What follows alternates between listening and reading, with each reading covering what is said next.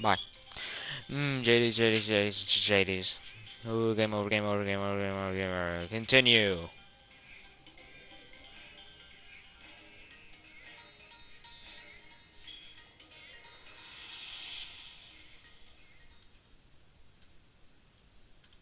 Okay.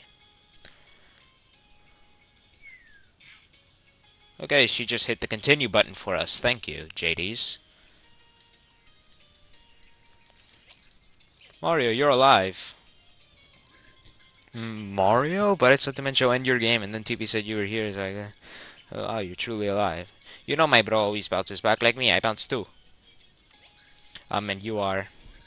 We can introduce ourselves later. For now, let's head into my house. Actually, yeah. I can't believe this is going to be a short episode.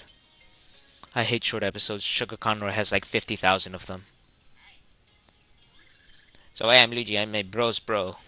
Nice to meet you. Haven't we met somewhere before? Oh boy, not that I remember, but... Wait, is it possible that you're our fourth hero?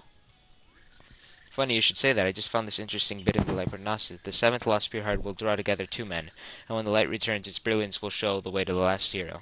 Yes, as Stevie said, I think this she may be our final hero.